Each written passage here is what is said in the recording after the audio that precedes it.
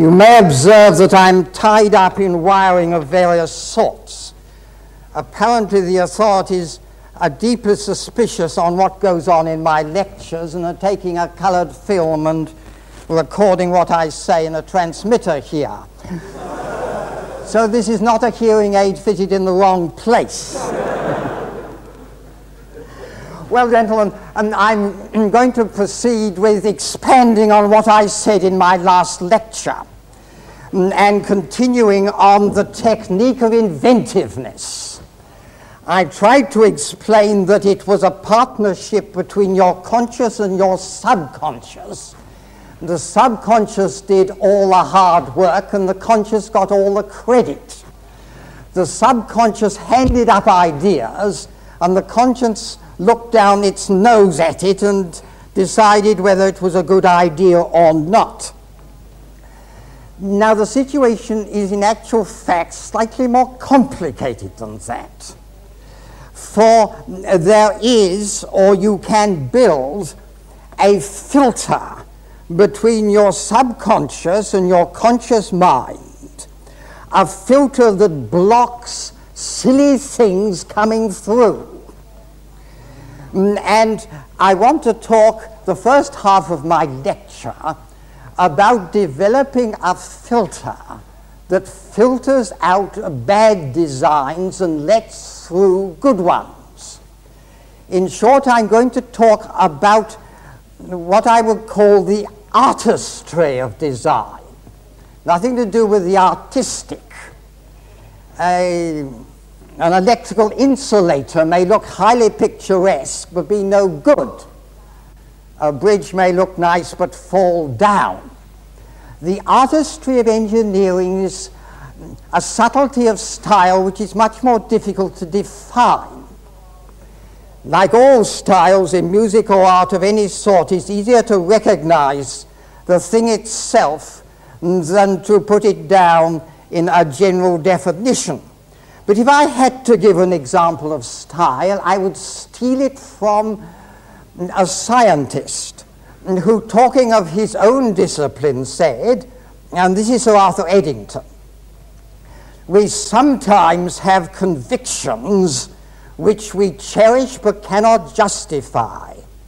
We are influenced by some innate sense of the fitness of things now, the artistry of engineering is an innate sense of the fitness of things. And let me try and describe by a rather disreputable example what I mean.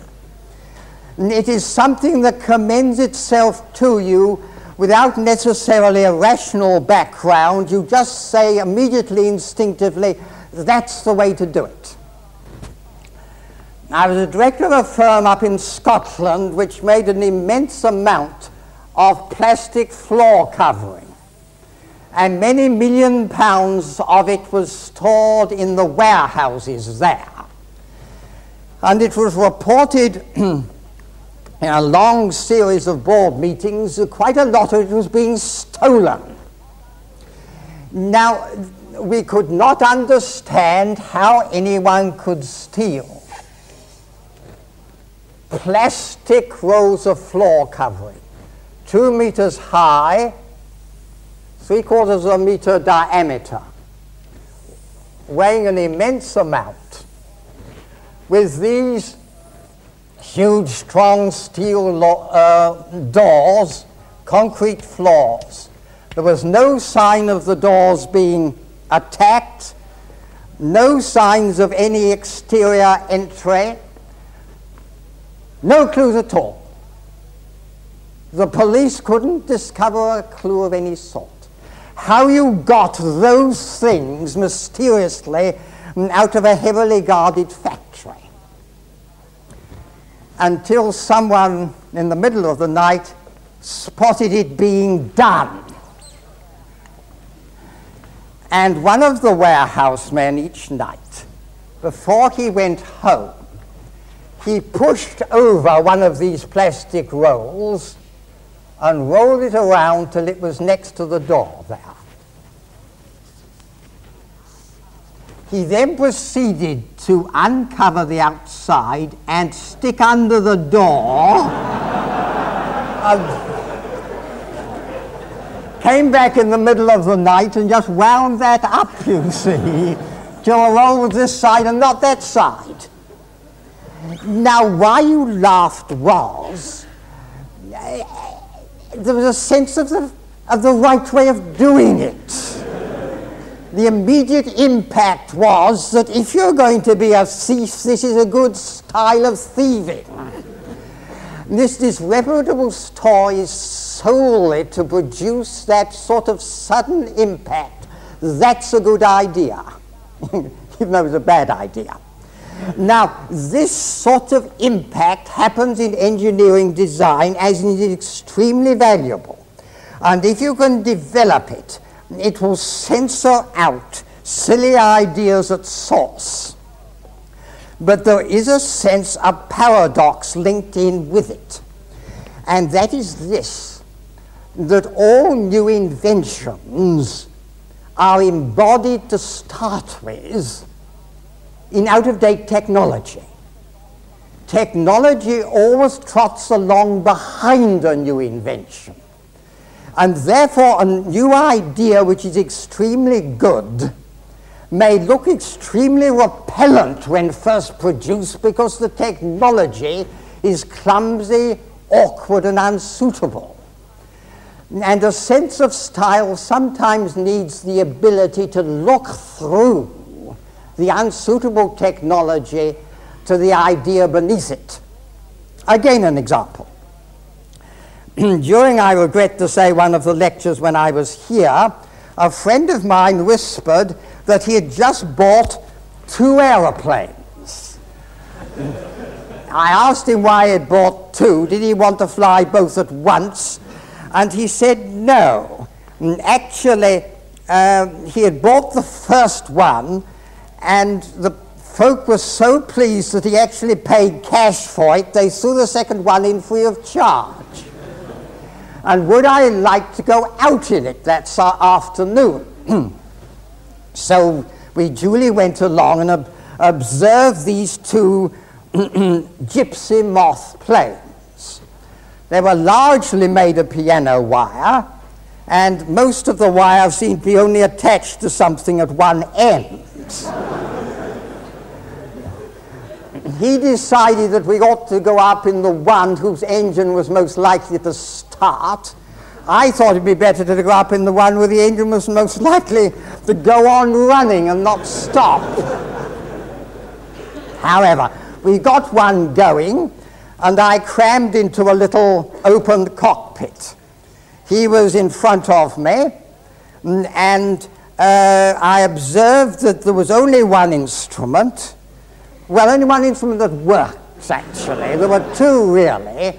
Um, the, uh, the altimeter, uh, uh, the height worked, but the airspeed didn't. And um, we trotted off across the grass and up we went in this terrifying device.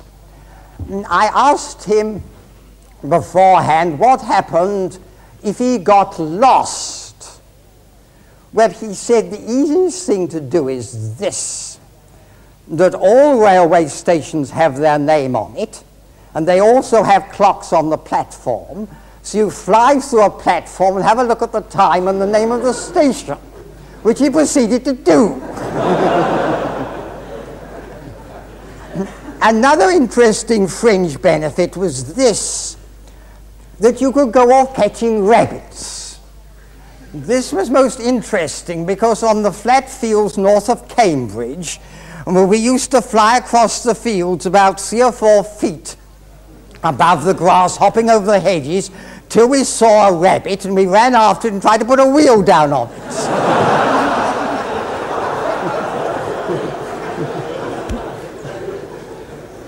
Fortunately, we weren't very successful. Uh, but the point I'm making is this that in that Gipsy Moth lay all the principles mm, that a Concorde now embodies. There was nothing there that hadn't got all the excellencies of a modern aircraft that embodies it in modern technology. The style was there, the technology wasn't. In fact, it was better in some ways because you can't really catch rabbits with Concordes.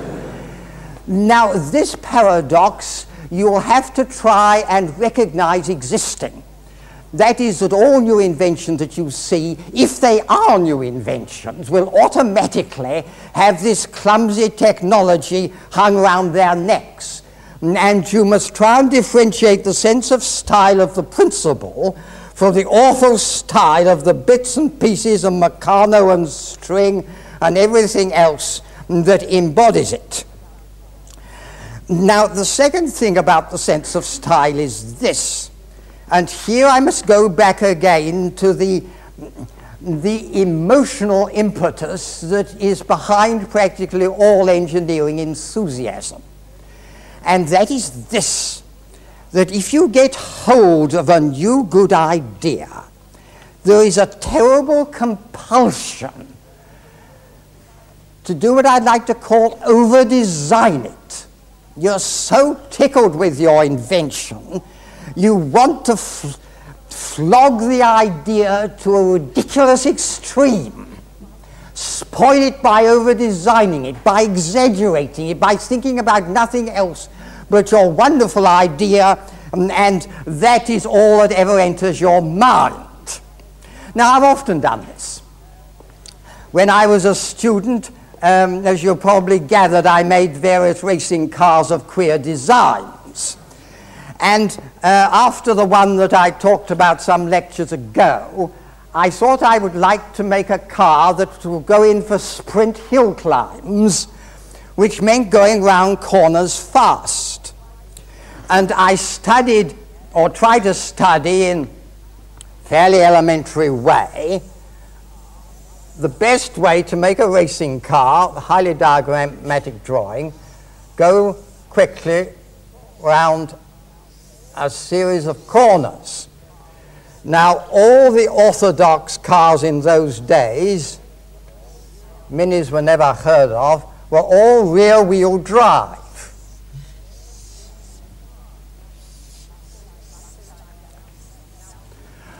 roughly like that. Now, if you start taking that car around the corner fast, what you do is naturally is to angle the front wheels like this, and round it starts to go. And on the center of gravity here, there's a force out here which has to be counteracted by the reaction against the road.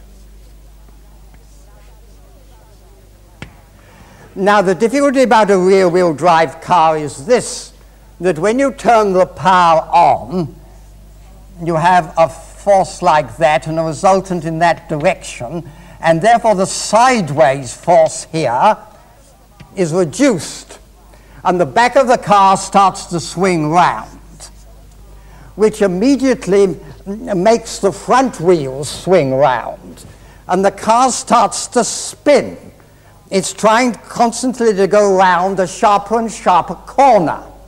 It's in a totally unstable equilibrium, and if you aren't careful, uh, not quick enough correcting a skid, off the road you go spinning like a top. This I frequently did. And so I thought it would be a good idea uh, to introduce what in those days Uh, had never been done before, I think, in a racing car. And that was this, that I would drive off the front wheels.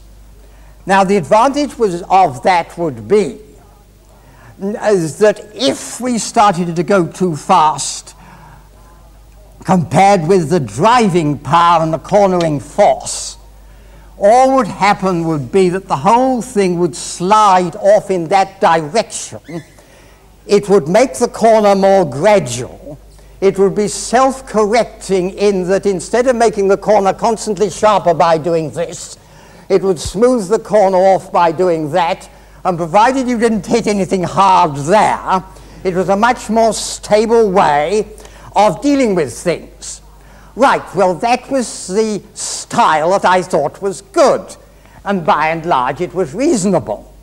What was unreasonable was the way I embodied it, because I was so pleased with myself, I could think of nothing else.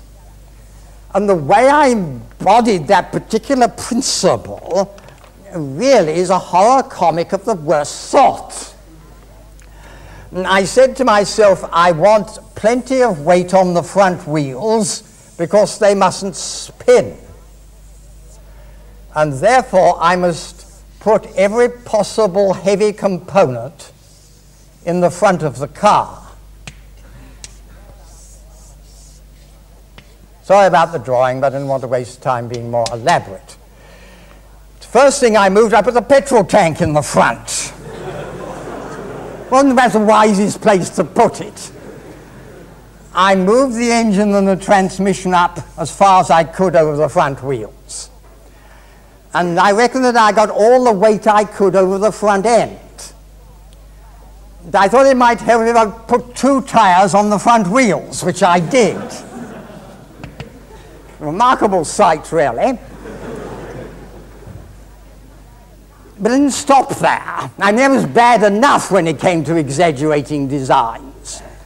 I was determined that if I couldn't get any more weight on the front, I'd take some off the back. well, the back suspension structure of a car chassis is in many ways designed to take the twisting torque of the rear brakes when you put them on, because the twisting power is fairly considerable. Well, I thought if I left the back brakes off, we would lighten the back, so I did. Well, the next thing that I seemed to think was a bit superfluous was, after all, the rear of a chassis of a car in those days flexed about a bit. So why have an extra flexibility by building in a rear suspension? Why not just put the wheels on the corner of the chassis and have no suspension? Which I did. So I saved weight again. Well, there was a reasonably good idea embodied in an exaggerated manner. I was so pleased with myself, I'd gone to town. And unfortunately, I had to go to Belfast to uh, um, take part in a hill climb there on the outskirts of Belfast. And the car was finished just in time to put it onto uh, a wee cargo boat that charge the cheapest amount for tonnage to go over to Belfast and be taken off by a crane at the harbour there. The engine had never been started and I'd never driven the car. I hadn't had a chance, I was working just up to the last moment. Well, now the first problem was this that I had to get this device through the RAC official scrutiny that took place in the morning uh, in the pits. And they looked at that device, and it worried them a good deal. They said, please, could they see how it worked and whether I got any brakes on it? Well, now I had got one brake on it. I, I got a transmission brake built in there. Now the road was wet, soaking wet. And there's an interesting phenomena about having a transmission brake, and that is this uh, that the force comes out and is separated by the differential equally.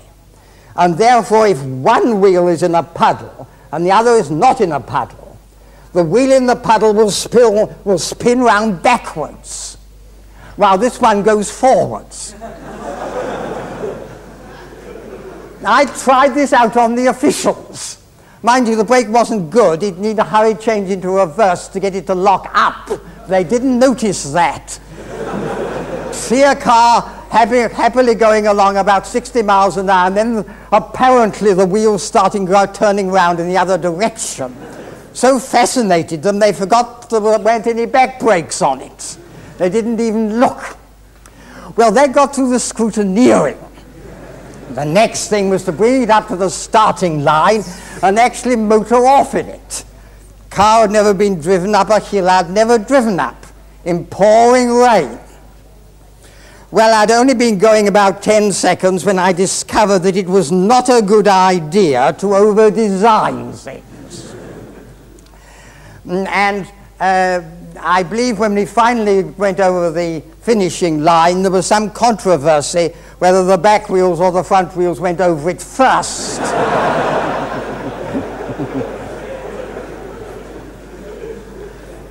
the proceedings were then stopped while the RAC met in solemn conclave. And their verdict of the loudspeakers was that I was banned from any more driving that day, or far as they knew, that car would never be allowed to be driven in Ireland again. I protested strongly as I was second fastest and was going to try and speed things up next time. But they wouldn't take any notice of it. I don't blame them. The whole thing was totally over designed, it was exaggerated.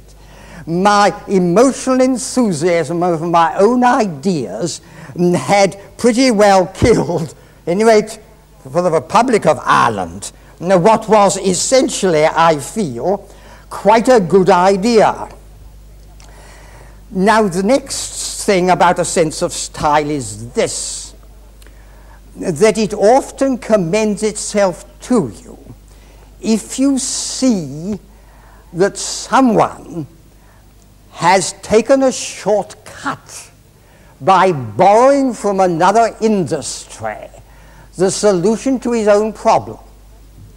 This is something where you need a sort of imaginative idea of transferring across and discovering whether your particular problem is in actual fact a problem that has already been solved in another and possibly quite uh, different industry altogether. For instance, some short time ago I went to a factory where they were making needle loom carpets. And this involved thousands of needles going up and down at a tremendously high speed, all driven um, by eccentrics. And everything was going so fast it was a complete blur, and you couldn't see how anything was designed or any of the mechanism. But when they stopped the machine, I found that each set of needle was operated by a connecting rod and a bearing, often eccentric. And these connecting rods and bearings was, were standard Ford components. They were just buying them by the thousands from Ford. Beautifully designed, very cheap, made to a high precision, spare parts readily available. They had merely borrowed from one industry the solution to the problem they needed in another industry. I remember once seeing a draftsman toiling away, working out a, a reasonably complicated hydraulic system.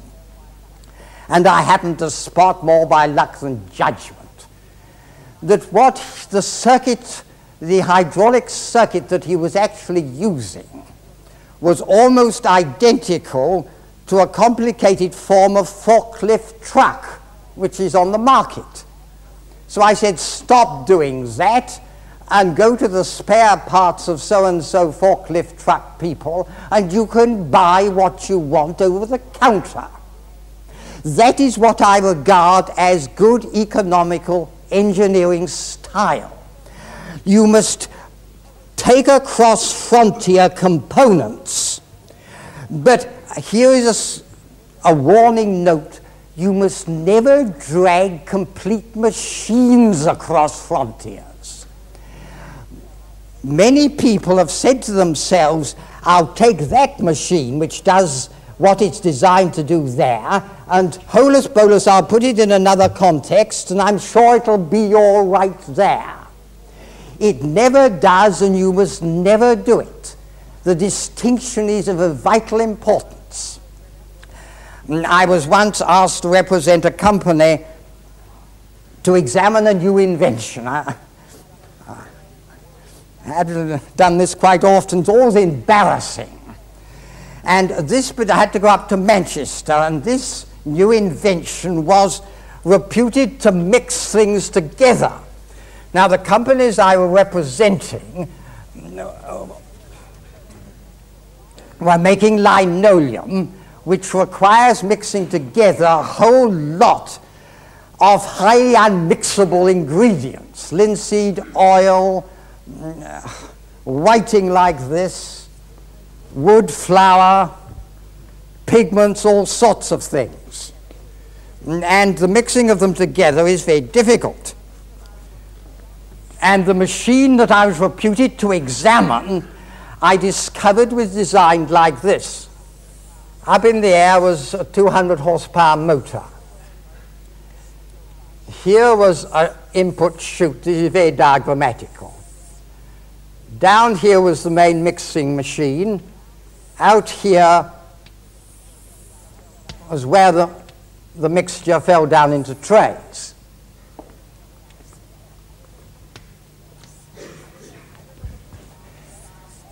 I had a look at the machine and I had a word with the inventor. The inventor was, poor man, terribly nervous, especially of two gentlemen in dark city suits who put up the money, and he was obviously terrified of them. Well, I, I had a look at this machine. I said to him, Look here, you haven't designed a mixer, have you? You've designed a disintegrator. And he said, Yes, actually it is. But I've been told, scary look at these gentlemen, there's a much bigger market for mixers. And I thought if it was going to tear things up, it might tear lots of things up together and mix them up while they were doing it. And so this officially is a mixer. So I said, Oh, I see. Well, that sent down various lorryfuls of, of barrels of material. And into the top here for the first test, they put linseed oil and whiting and wood dust. In it went there. And we all stood round here to see how it would come out nicely mixed together or otherwise. There really was, and nothing came out. The machine hummed happily to itself. Otherwise, nothing happened. Thing went through at all. And after about five minutes, the nervous inventor said, Well, uh, I, I, think it needs a little bit of help. Will you excuse me a moment? And he rushed out of the factory building and then came back with a large sack of wood shavings and he climbed up the ladder here and put in a sack of wood shavings. Well, the machine let out a sort of disgruntled squeak.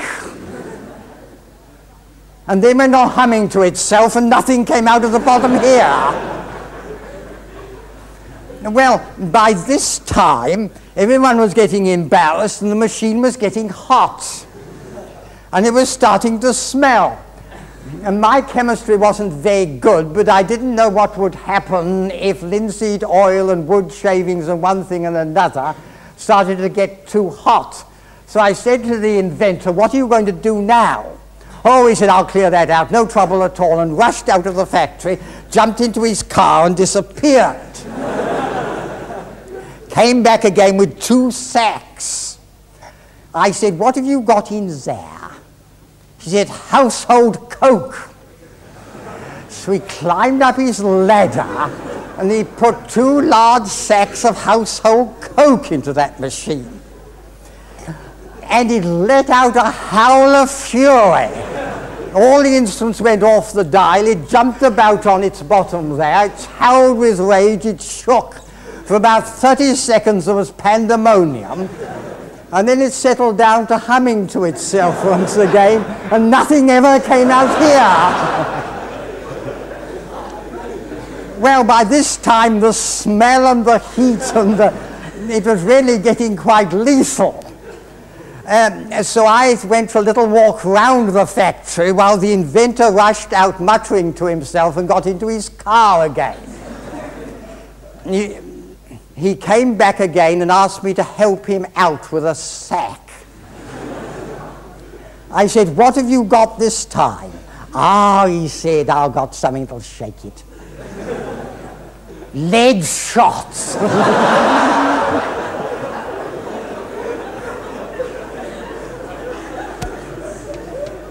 I helped him up the ladder, pushing and pulling with a sack of lead shot, and we poured it in there.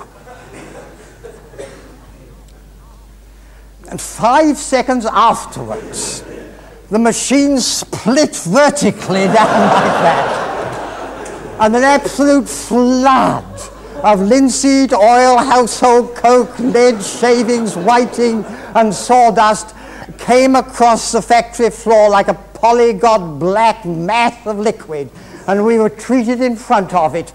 Mm, and the poor inventor, I daren't look at him. He had tried to import across a frontier an idea that was incompatible with a new industry. It is good engineering style to import the components but never import the actual principle itself. It always, in practice, needs modifying. Why, in theory, that to be show, I don't know. But in actual fact, that always happens. Now, I must turn to the second filter. And this is a more conscious filter. The filter that you learn to develop here.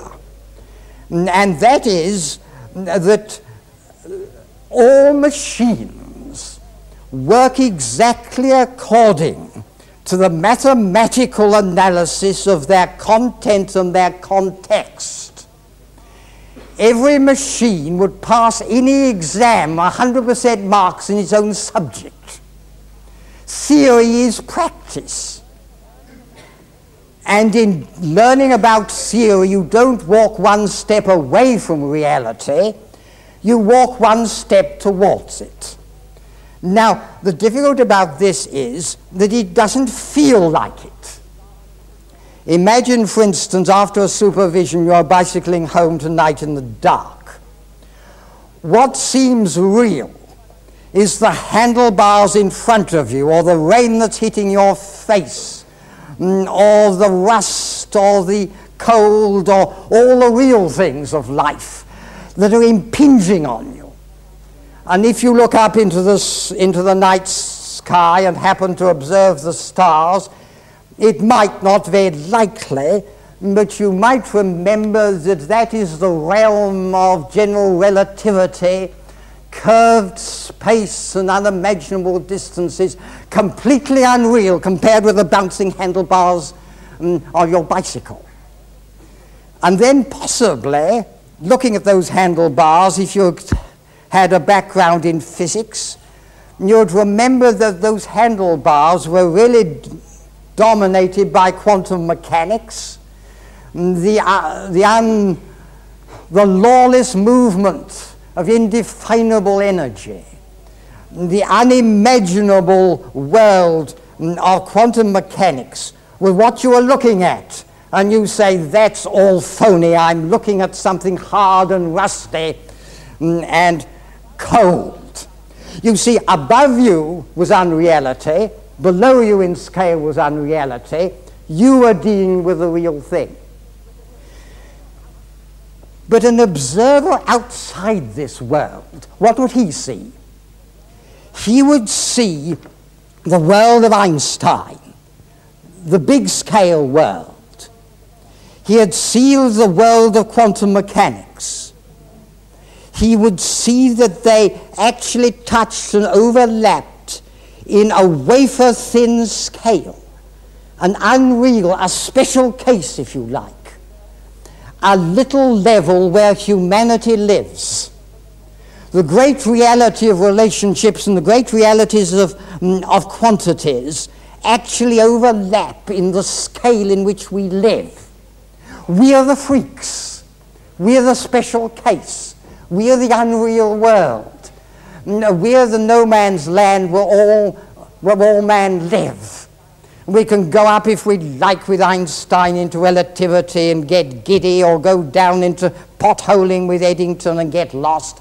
But we have to live and move and have our beating and design on that wafer thin interconnection of quantities and relationships. And that's how everything material works. And therefore, arithmetic and algebra is the nearest thing that you can get to the nature of things. Differential equations are a step into reality, not away from it. And what you are building here, I hope, is a mathematical filter which will logically eliminate all those designs which are unrealistic. Because you're teaching precisely because it is all mathematical, is precisely more real, more dependable, and more lasting than all the emotional ideas uh, that you can pretend for a short time as being more important. Now, let me give one or two examples of that. You see, we're so inclined uh, to design emotionally and not analytically. There was a film producer, for instance, who had a marvelous invention. He worked out, and this was a basis of invention. He was very good at making Western films, and he worked out how to make the shooting of glasses the shooting of glasses on a, on a bar when the baddie comes in and shoots all the glasses off, you know, to make the glasses explode in a realistic manner. If the glass is empty, it just collapses flat, you see, isn't any good for the film. But he discovered that if you take a glass and fill it right up to the brim with water, still looks transparent. What happens is that the bullet goes into the glass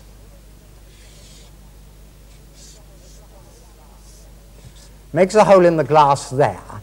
But if it's full up with water, the forces then go off in every direction. The displacement of the water by the bullet produces forces in every possible direction, and the glass explodes. And the baddie comes in, and all the glasses explode, and that's what you see on westerns. Well, now he thought that he, he could utilize this principle very effectively mm, in solving is sometimes a difficult problem. And that was this. You have these very large chimneys, brick chimneys. he said to himself, that's a nice big glass, isn't it? Why have all the problem of putting in explosives of various calculated places Mm, uh, so that the thing falls down when you want to get rid of it. The thing to do is this, is to fill it up with water just there. Which they did. They put in a meter of water and an explosive charge there. This was about one vast one, 300 feet high or something like that, and exploded it. And what do you think happened? It's your guess mutterings. Uh It got wet, yes, it did get wet. It obeyed exactly the theory, the principle, the mathematics. And so what happened? Take quite literally math, yeah? What mathematics says that this will shear off here. It sheared off dead flat like that, and the chimney fell down there and perched on the dead flat's foundation. and no one quite wanted to go near it to give it a wee push.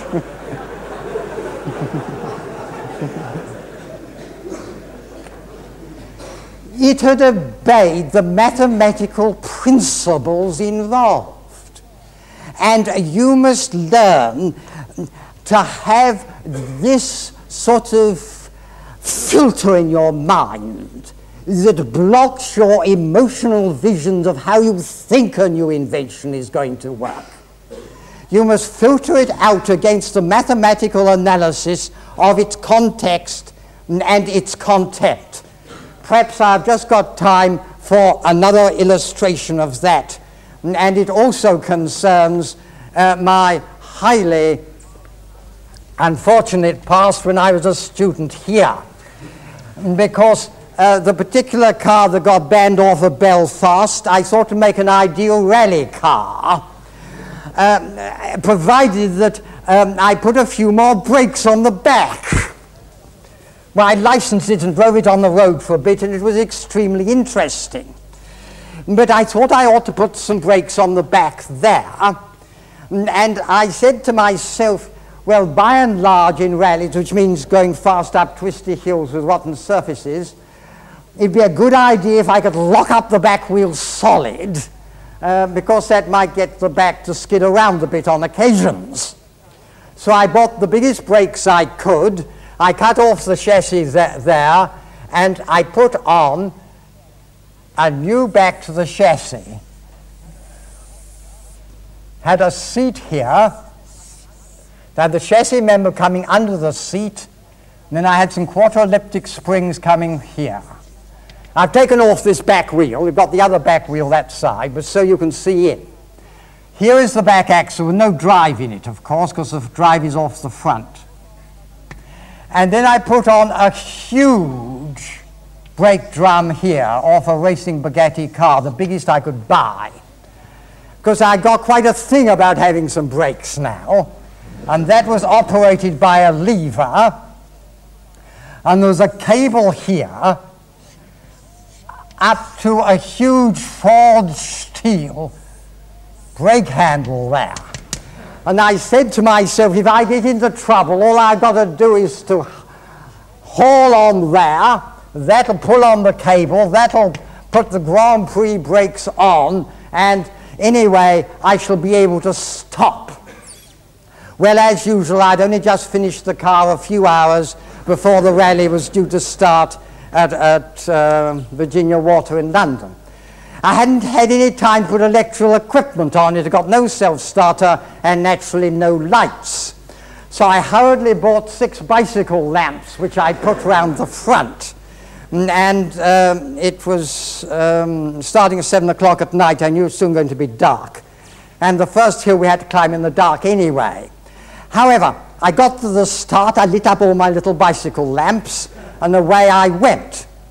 Due to the vibration or other matters, um, all the six lamps soon fell off.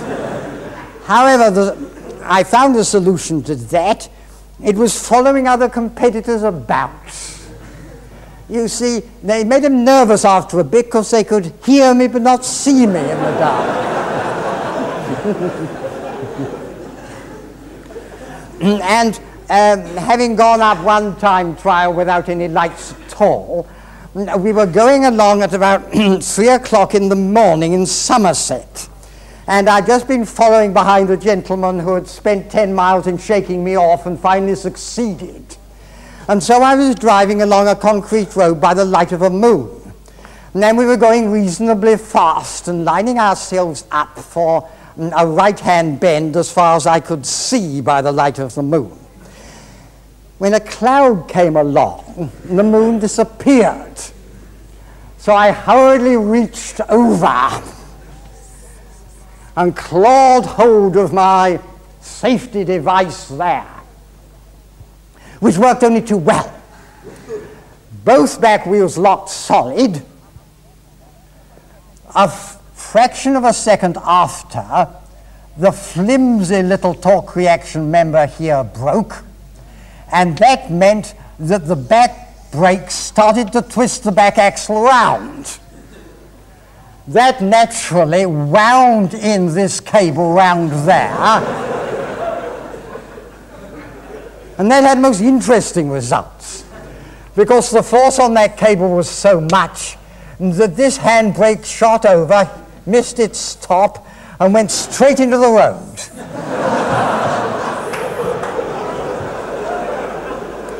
and the back of the car went up in the air in clouds of sparks, and I started ploughing up the road at high speed until I disappeared through a hedge and started ploughing up Somerset. the moral to that disreputable story is precisely this that are designed emotionally and not analytically. If I'd had the sense to wait and try and push that through an analytical filter, I would have spotted that this retaining torque arm here was ridiculously fragile. It didn't look it. All I was concentrating on was when to whoop in an emergency. And always remember that the reality of material things are dominated by relationships and magnitudes. Differential equations are the most practical things in the world. Thank you, gentlemen.